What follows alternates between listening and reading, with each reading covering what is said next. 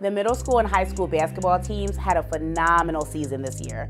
We thought it was extremely important to celebrate all of their accomplishments, both on and off the court, by having a celebratory dinner at the end of the season.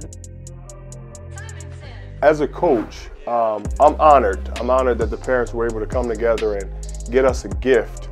Um, myself and, and Ansu, the other coach, it means the world to us. Um, the kids that we have, uh, they've been great all year. And it's one of the things that we look forward to um, all year as coaches is having the kids in the gym and, and, then this end of the year party with the parents and with the kids coming together. It, it, it's, it's just phenomenal and, and we appreciate it.